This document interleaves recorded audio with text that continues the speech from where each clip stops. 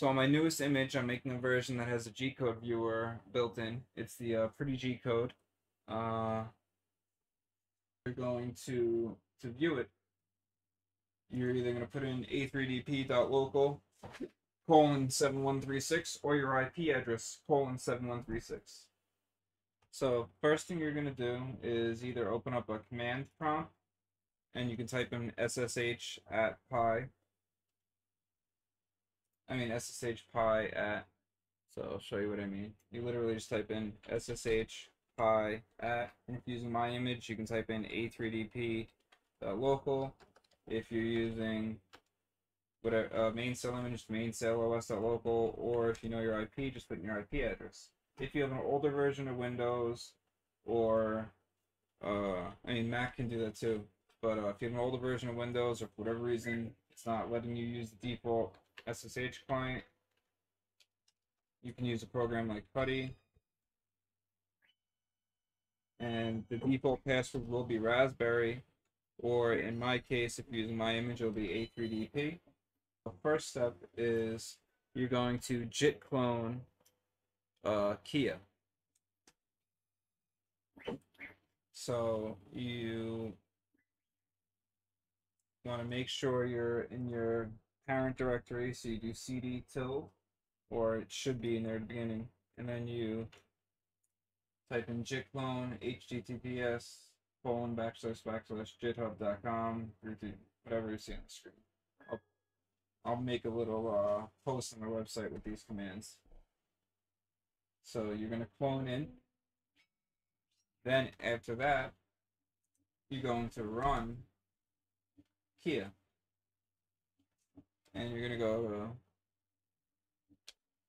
to install and then number 8 for pretty G code. That's fine port for it to be on.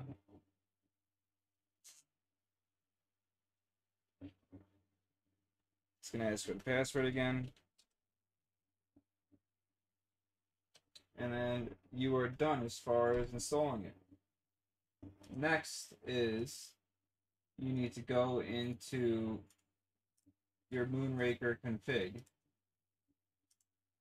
.conf file. And make sure that you have either no authorization section or if you do have an authorization section you want to use this. Now, if you want to be able to use mymainsail.local or a3dp. Uh, yeah, mymainsail.xyz, uh, like remote client, then you need the authorization section.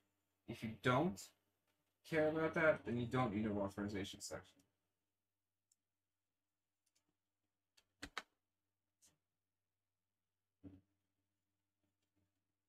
So see right now it's saying disconnected.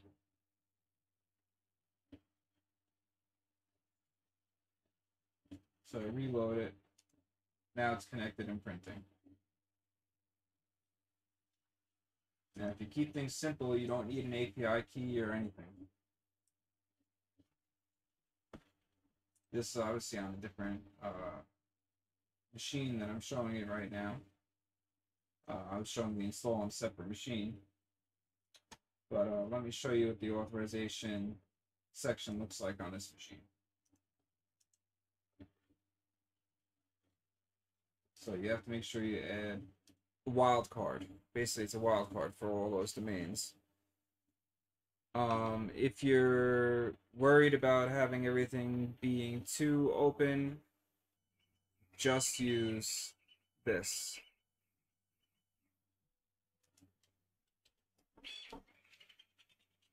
Instead, and get rid of that.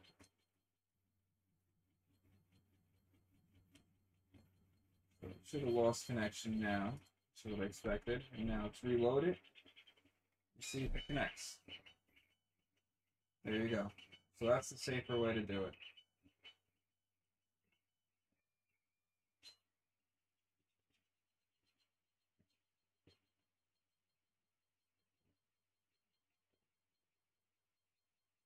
And that's Pretty G Code Viewer.